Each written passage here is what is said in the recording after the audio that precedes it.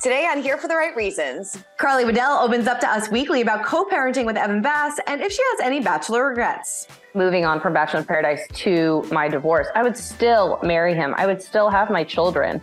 Um, I would still choose for the relationship to have ended. Plus, Peter Weber and Kelley Flanagan break up again. Becca and Thomas are expecting. Susie Evans goes on a date, and Gabby reveals where she stands with Jersey Shore's Vinny. We've got that plus so much more on today's Here for the Right Reasons. Hey guys, Christina Garibaldi here with Us Weekly Deputy Editor Sarah Hearon. And Sarah, I don't really see this breakup coming between Peter and Kelley. You didn't?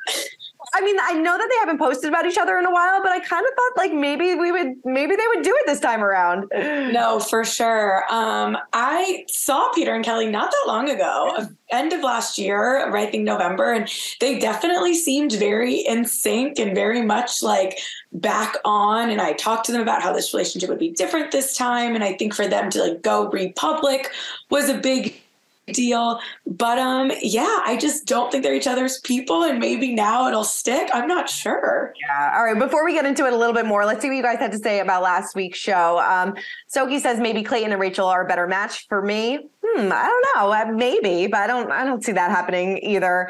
And then uh, M says Chris Harrison was uh, was the best. Show went down after he left. A lot of people still have a lot of uh, opinions about that one.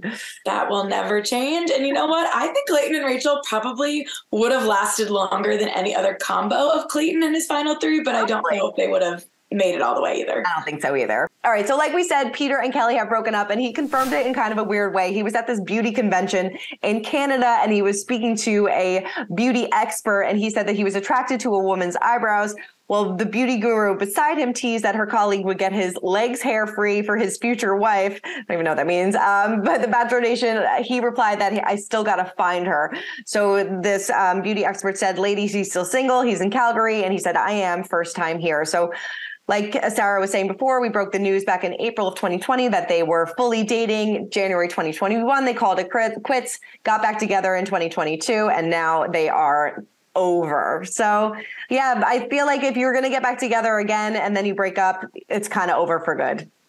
Yeah, and I do have it on decent authority that Peter might be on the apps and um, looking for love that way. And a source, another source, has confirmed to me that they're definitely over. So even though this video kind of sparked it, um, I ha- we have confirmed it Us Weekly that they are donezo. And I just really like Kelley. I like Peter too. Honestly, I've only had very pleasant interactions with both of them, and this would have been like a lovely bow to a bizarre right. season. But it it kind of felt almost like too good to be true. They feel like very different people at their core. So. Yeah well, hopefully they find love with other people, and maybe we'll see uh, Peter back on Paradise this upcoming season because we've been talking about that for a while. I know. I don't think Peter would hang up his reality TV hat. I know he's a pilot. I know he's busy, but it wouldn't shock me. There are a lot more people that would shock me. Um, and you know what? Sometimes Paradise it works because guess what? Becca Kufrin and Thomas Jacobs revealed last week they are expecting their first child. They shared an ultrasound, a bunch of pictures of them with their dogs, Minnow and Leo and they wrote Party of Five coming September 2023. Little babe, we can't wait to meet you, hold you, and watch you grow. We already love you to the moon and back, mom and dad. Um, several people from Bachelor Nation obviously up in the comments, seemingly shocked. Wells Adams said, Wait, what? Serena, who was on the season with them, commented, I'm screaming, so happy for you both. In case you forgot, Becca is the one who proposed to Thomas um, in May of 2022. After less than a year of dating, he followed up with a proposal of his own in October. I am well. I'm shocked. First of all, you know that they announced that they were expecting. Didn't really see that one coming because you know they're engaged, about to, they're you know planning their wedding, but really happy for them. I, you know, if if you would have told me uh, a couple years ago when they left the beach not together that this would be happening for them, I wouldn't have believed you. no, totally. And they've also like as far as you can kind of keep a low profile in Bachelor Nation, I yeah. wouldn't say I feel like I'm over like loaded with Becca and Thomas content. No. So they are definitely the real deal. That's so exciting for them. I feel like we're almost in like a bachelor baby boom a little bit, mm-hmm. um, which makes sense. You know, there's a lot of breakups in the COVID era, and now we're in the baby boom era. So good for Becca and Thomas, honestly. Love to see it. Love to see it. Well, Susie Evans is getting back out there, and she revealed that she went on her first date since her breakup with Clayton. She said on TikTok, it really felt so low stakes with this first date, but it ended up being maybe the best or one of the best first dates I've ever been on. The only thing is that he doesn't live in LA So I, she almost didn't go for that reason. And I was like, "How serious are you?" Honestly, we hit it off. It was my first official date, like I said, since being um, since her relationship last September. She said that it was hard for her to date because she said that people want to chat on the apps and don't have patience to go back and forth a bunch of times. So she said, I knew the vibe was good immediately because we both made a gross joke about going to Taco Bell instead. And the waitress didn't think it was funny, but we did. We were both doing weird accents and it just got so weird. And I haven't felt like I could be myself with somebody that quickly in a long time. Good for her. Yeah, it must be so interesting when you date like in the public eye ish. Yes. For a lot of reasons, because one, like you could be spotted out together, but also like I feel like the uh, the like they don't limit their you know when you're on a dating app usually you're like I want to be in this radius because. I can't just fly to this place or have a you know engagement in this place and like get there and really entertain a lot of those options and I feel like when you kind of have a little bit of notoriety there's like a reason to potentially long distance date or go outside your like cool. Um, sometimes they do the opposite and go Bachelor Nation. Other times I feel like they end up dating people from God knows where because they can. So good for Susie. Getting out there is the first step. Definitely. Well, um, another one of Clayton's ladies, um, Gabby Windey, she revealed where she stands with Vinny Guadagnino from Jersey Shore. Um, she who she called really smart and hot. Mm. She recently told Kaitlyn Bristowe, I don't really know why it's not a thing. We do chat all the time. He was sliding into my DMs the other day and we're past this, but I'm like, Are you flirting with me? And he's like, Um, yeah, now I'm nervous. She went on to say, I was like, just tell me you like me. He was like, I like you. I know it's cute. He has a busy schedule. He's always filming Jersey Shore and has some other exciting things coming up. And he hates LA. He lives in New York. So I'm trying to get him to come here, but never say never when it comes to us. We'll have to see. I don't know if they could, like we were saying before, you know, long distance, if they could do the bi-coastal thing. Vinny did live out in LA for a little while. He came back, so it doesn't seem like he's going to be making the move again. But I mean, their flirt flirtation is really cute, and I guess she was wasn't she on that date with Alan from Dancing with the Stars? But I guess that didn't go anywhere. She was. I think she told Kaitlyn it wasn't really a date, yeah. but I think maybe Alan might have thought it was a date. It's kind of what I got from it. But also Alan, I think, is just very like flirty, and I think yeah. that she's just Gabby is very much just like out there doing her thing. Um, I also feel like this Gabby Vinny relationship could have had a better chance, or maybe would have had legs if she wasn't still with Eric when she started Dancing with the Stars.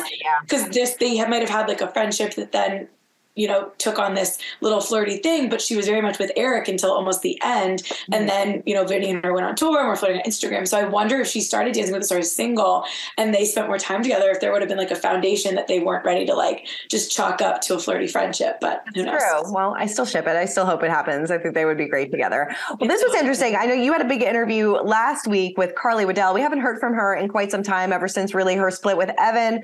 She's releasing new music and you guys chatted, right? We did. Yes. We talked about co-parenting. We talked about bachelor regrets, and it was really great to hear from Carly. She's a very positive person, but obviously understands that like there was questions about her and Evan when they were together, and there was questions when they weren't together. So here's what Carly had to say. Yeah, how is your co-parenting relationship with Evan?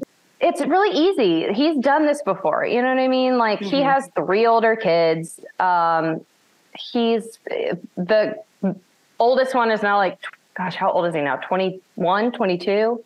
And the middle one's going off to college. Like his kids are older. He's raised them since they were babies. He knows what he's doing. They go over there every other weekend. And I remember at first I was like, oh my gosh, like, what are they doing over there? But now I'm just like, he's got it. Like, it, if there's ever a problem, like a sickness or something, then he, we talk about it and we work it out. But we're very it's just it's not a problem. It's very easy. You obviously seem to be in an amazing place right now and it's been a couple years since a lot of stuff unfolded. What would you tell the carly one the carly who was going on Chris Soules season but then oh, the carly God. who kind of at the end of the bachelor journey what were the what were the two things you would tell the, those versions of yourself? Um, well the carly uh, on Chris Soules season i think I would say so. My brother, you know, my brother was on Desiree season, so right his advice was be Carly, but don't be like all the way Carly. And I think I would give myself the same advice that my brother would have given me. Um, but there's a lot of times that I like to stand up for like what's right. And I'm like, I'm like, I'll always stand up for justice and for other people. It's actually way easier for me to stand up for other people than myself usually. But um, I think that would be my advice for Chris Soules season at the end of Bachelor in Paradise, uh, was that the next thing you would? Yeah, either end of Bachelor in Paradise and then maybe like after your relationship ended? Um, okay, so after Bachelor in Paradise, I mean, I really was I followed my heart. You know, that's one thing I could, will always say about me. That is never going to change. I love love. I um, I appreciate a good love story, however it unfolds.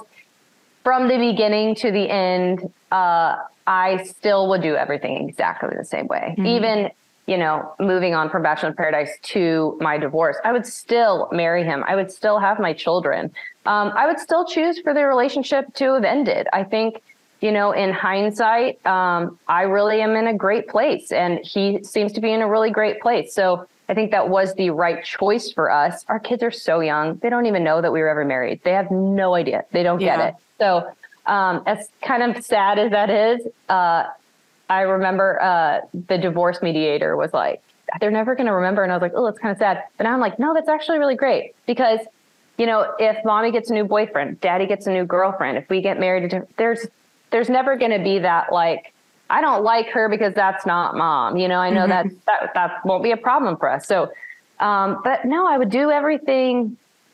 I would do everything exactly the same. I really would. I mean, it was hard and it sucked so bad, um, but it was all the right choices. You know, I love that she said she has no regrets. She'd go back, she'd marry him again. She would would break up with him all over again.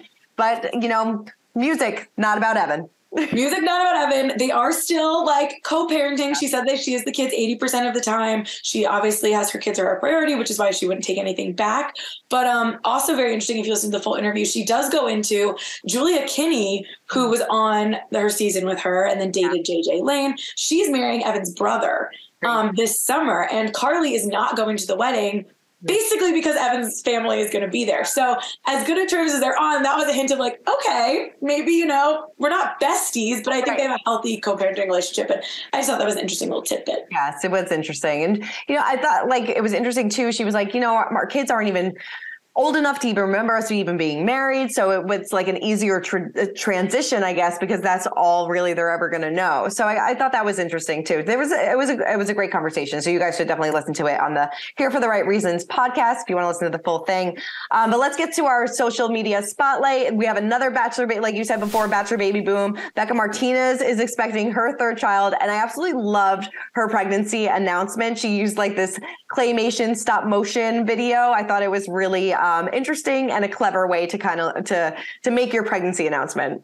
It took me back to art class when we yes. watched those videos of like the claymation, and I can't remember what it was called, but um, very happy for Bekah. She's been with Grayson for a long time now. They had their first daughter pretty early into their relationship, unexpectedly. Then they had a son. Now they're engaged, and now this is baby number three. And you know what? When we met Bekah on Ari's season, and then she like went missing and that whole wild scandal. Yeah, that's right. I don't think we saw a mom of three like not that far off in her future, but like good for her. She seems to have it all together. I love that. And speaking of having it all together, it looks like Blake a few years later has returned to Stagecoach, and this time things are a little bit less dramatic. He went with his girlfriend uh, Giannina from Love Is Blind, and they took on Stagecoach, and hopefully it was like I said, a little less dramatic than it has been in the past for him. And he had a gig. I think he DJ'd. Yes. Right. Yeah. So it, he's come full Love to see it. Love to see it. All right. Well, that is it for this week's episode of Here for the Right Reasons. Like we said, if you want to listen to the full interview with Carly, listen to the Here for Right Reasons podcast.